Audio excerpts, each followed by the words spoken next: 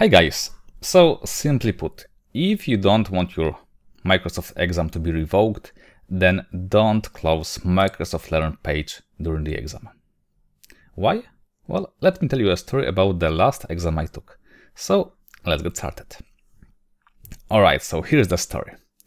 So, November last year, I took beta exam of this brand new Microsoft Fabric Data Engineer certificate, DP700 and I decided to take it online using Pearson uh, VUE application the same way I did it multiple times in the past. It's a really convenient way of taking the exam. You can do it from home. You don't have to go to this certification center.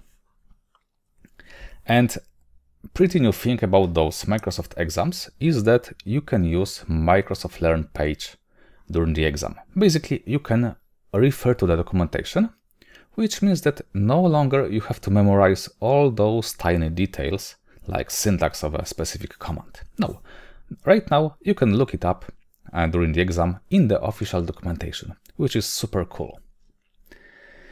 And uh, guess what? When I was taking the exam, I hit the question that I didn't know the answer for. So I decided to, well, use documentation. That's what it is uh, used for, right?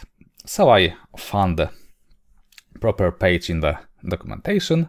I got the answer, I answered the question, and then I decided to close this Microsoft Learn window because it was taking quite a lot of space on the exam application. And to do this, I closed this tiny X um, button in the upper right corner, the same way as you close another window. But suddenly, my exam application screen got blank. Everything disappeared. So list of questions, progress bar, it was gone. The only thing that uh, remained was view from my camera and the option to chat with the proctor, which I did. So I opened the chat, I, I explained my situation, and I asked if they can bring it back. And they said, no problem, wait a second. And after a few seconds, my exam was live again. The good thing was that I didn't lose any progress, so all the questions I answered so far, they remained answered. The bad thing was that I lost my whiteboard. And whiteboard is this place where, where you can take notes about some questions, so it was gone. Alright, minor issue, but let's move on. So I continued with answering some questions, and then again I hit a question that I didn't know the answer for. So again, I decided to consult the documentation. I found the answer, answered the question, and I want to close this uh, web um, site again. But this time I was super careful where I was clicking, and I'm 100% sure that I clicked on the proper close button. But guess what?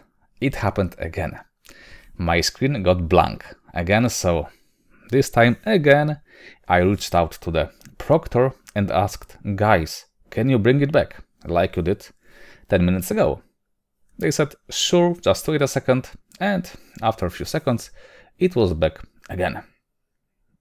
Alright, not the best candidate experience when you're quite stressed and you encounter those technical details, but at least I didn't lose any progress. So let's move on. Then when I was about three or four questions left to, the, to complete the exam, I moved to the next question and again my screen got completely blank. So I reached out to the proctor and this time it was a different person and the conversation was less pleasant. It was pretty short one.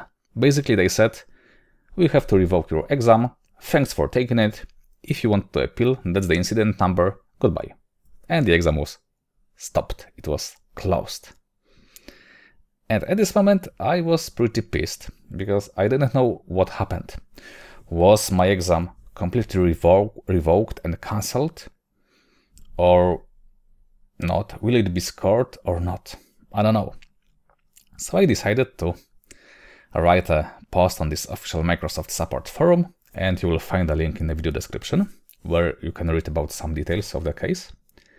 And after some time, this support um, engineer from Microsoft reached out to me and we continued the discussion in a private channel, so you will not be able to see those details. But let me provide you some.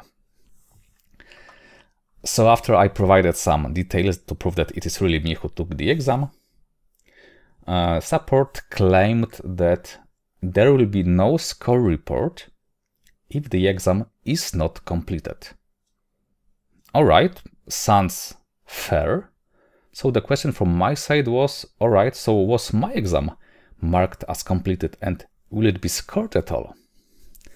And I think the support didn't understand my question because they continue to answer that if it is not uh, completed, it will be not scored. And me again, I understand this. I am not asking about the result of the exam. I am just asking if it will be scored at all.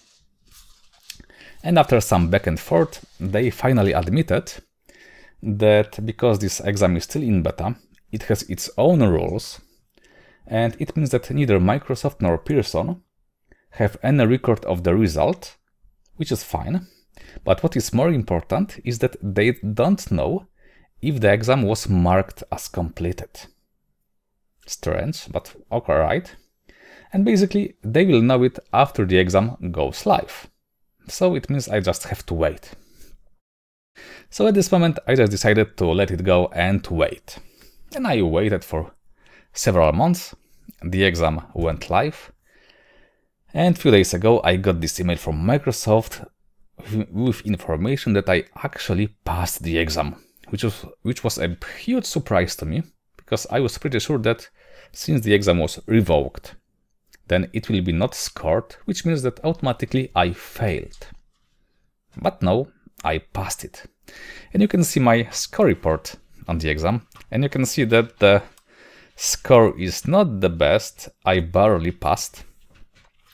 And I guess that those few questions that I didn't have a chance to answer, they will just, they, were, they were not scored at all. That's why the result is as low as it is. But at least I passed it.